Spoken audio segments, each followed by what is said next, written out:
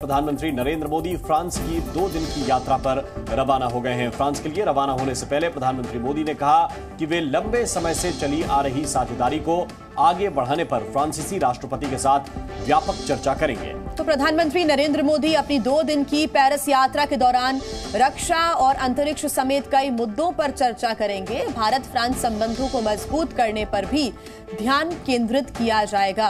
बड़ी जानकारी इस वक्त आपको दे रहे हैं। फ्रांस के लिए रवाना हो चुके हैं प्रधानमंत्री नरेंद्र मोदी और शाम चार बजे का समय है जब वो पेरिस पहुँच जाएँगे। इस दौरान वो बेस्टिल डे परेड में भी शामिल होंगे। बेस्टिल डे परेड में भारतीय सेना के तीनों अंगों का प्रतिनिधित्व करती हुई टुकड़ियाँ भी होंगी जो परेड में शामिल होंगी। प्रधानमंत्री नरेंद्र मोदी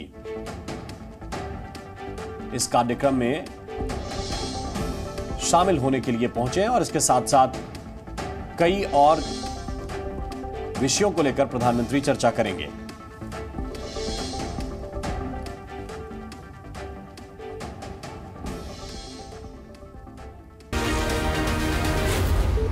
News.